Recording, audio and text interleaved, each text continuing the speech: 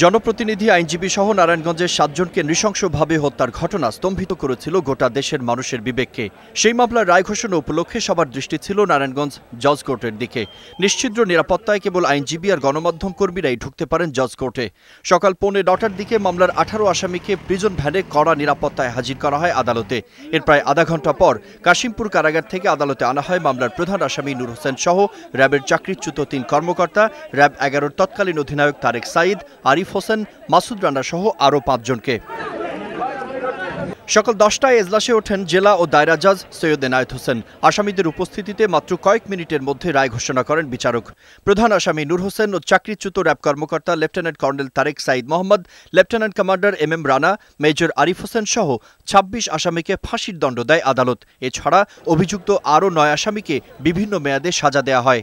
নূর হোসেন, তারপরে কর্নেল তারেক সাহিদ মেজর অবসরপ্রাপ্ত Arif Hossain, lieutenant commander প্রাপ্ত মাসুদ রানা সহ ছাব্বিশ জনকে বিজ্ঞ আদালত মৃত্যুদণ্ডে দণ্ডিত করেন।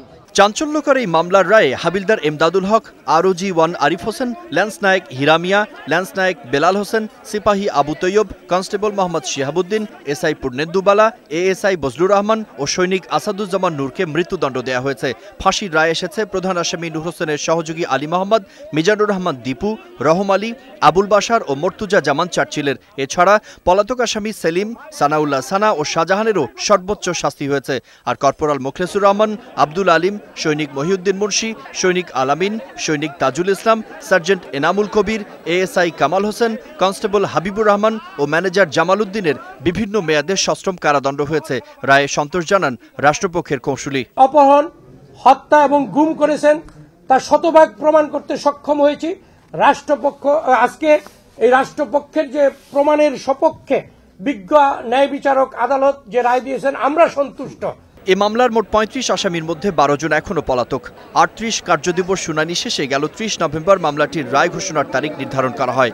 দু হাজার চোদ্দ সালের সাতাশ এপ্রিল ঢাকা নারায়ণগঞ্জ লিংক রোডের ফতুল্লা থেকে প্যানেল মেয়র নজরুল ইসলাম ও সিনিয়র আইনজীবী চন্দন সরকার সহ সাতজনকে অপহরণ করা হয়। তিন দিন পর শীতলক্ষা নদী থেকে উদ্ধার করা হয়েছিল তাদের মরদেহ।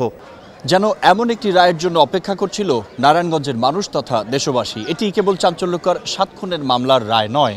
আইনের শাসনের শক্ত ভিতের জানান, ন্যায় বিচার ও সুশাসনের অনন্য দৃষ্টান্ত।